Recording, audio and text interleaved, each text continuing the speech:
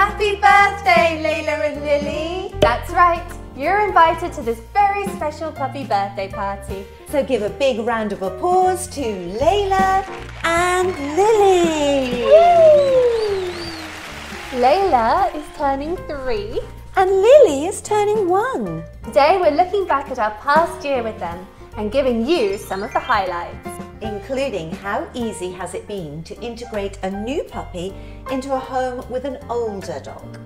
Sorry, Layla, about the older dog reference. Only slightly older. Pink is for Layla. Pink is always for Layla. What's this, Layla? And blue and red for Lily. No, this is yours, Lily. That's yours. Oh, it's oh. a little octopus. You got one too, Lily. Party dress is falling off. Oh, careful, Lily. On the 24th of February 2022, we brought Lily home. Our decision to bring a new dog into the family was based on us now having more space since we moved from our one bedroom apartment into a new home. Layla is an energetic and playful dog, so we thought she would love a sister to play with in her new home. There's a little bit of fighting going on. Never work with animals. What was it like when Layla and Lily first met? Oh, well, poor Layla got a bit car sick on the journey home, so she wasn't particularly interested in Lily. Lily had had a very long journey for a young pup, so she wasn't particularly interested in Layla. And most of the time, they were just sleeping that evening, which is oh. not what we expected at all. The next day, the fun began, and they just loved each other. They were playing with all the toys. Lily loved all the toys, and she she just immediately seemed comfortable here. So, what were some of the challenges? For us, it wasn't actually too bad. The main thing we were concerned about was that Layla had enough personal space when she needed it because puppies can be very uh, persistent. Lily is still very persistent even after a year if she wants Layla to play. She doesn't give up. So we have to make sure that Layla has her own space where she can go. You know, she's a teenage dog, so teenagers like their own space. We also tried to make sure that Layla still had a lot of access to us, so she didn't feel jealous or left out, even though puppies need so much time and attention. Mm. One of the challenges is when we give them treats that take maybe like a few more moments to eat, like a chewy treat, because they'll try and take each other's. And Layla hates if Lily gets too close to her while she's eating her food. Mm. She'll actually do a little like warning bark, you know. And Lily does back off. I think Layla's the alpha.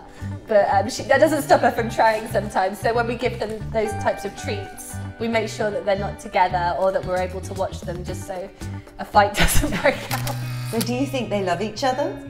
The moment I knew for sure that they loved each other was after Lily was spayed and she had a little operation, so her tummy was cut open and she had a little scar and some stitches. And she came home and she was still drowsy from the anesthesia and we put her in her playpen just so that there was nothing she could hurt herself on. And Layla sat outside her playpen watching and crying, so concerned, didn't know what had happened to Lily. It was just the sweetest moment. Yeah. It's like, oh, they do love each other.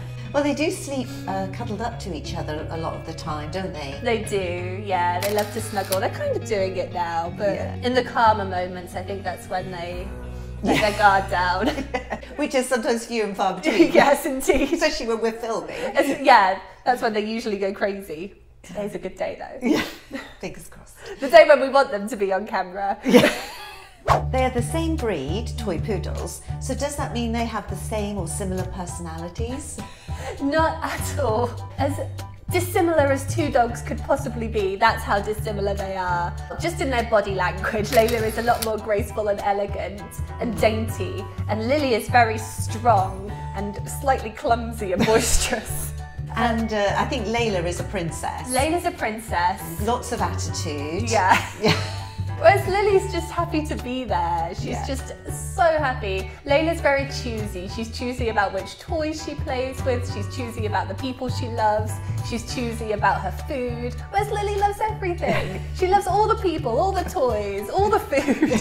but I think it's a case of opposites attract. Mm. So what are their favourite things to do together? Oh, well, I can't actually say the word, so I'll spell it. W.